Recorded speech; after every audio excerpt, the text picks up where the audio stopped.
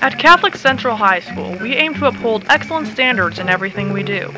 This includes following the school dress code and behaving as proper young ladies and gentlemen. This is Robert. He is showing exceptionally bad taste in both school attire and demeanor.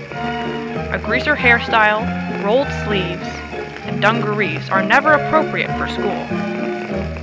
This is Susan. She is displaying distasteful mannerisms and immodest clothing choices.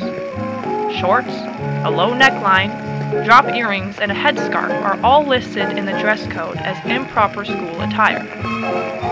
The clothing and grooming of the students at Catholic Central High should reflect his or her serious attitude towards school and his or her own person.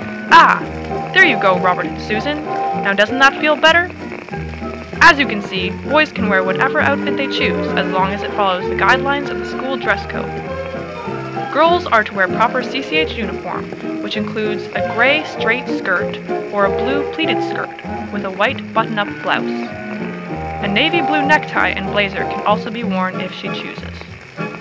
Congratulations, Robert and Susan! You finally learned the proper dress code and etiquette at Catholic Central High.